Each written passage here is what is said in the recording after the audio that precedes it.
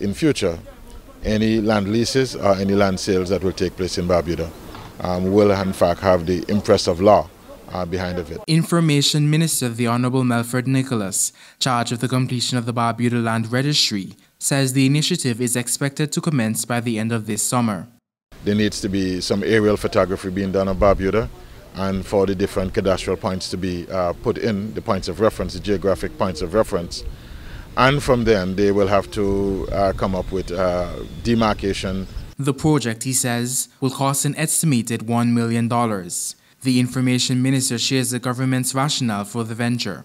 Most of the parcels that are unleased in Barbuda are only registered at the civil registry in a descriptive manner, but not in the same way that land is being noted in Antigua with black and parcelization number in the land registry.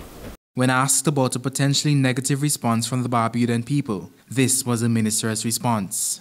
We're going to have to traverse those issues when they do come up. Uh, but it's not going to be something that is unnecessarily contentious. Yes, there will be vices raised in relation to it, but the government is resolved that we have to do that. The, in order for us to be able to get to the next level of Barbuda, our development in Barbuda, we have to traverse this path. Rakib Aparicio reporting for ABS News.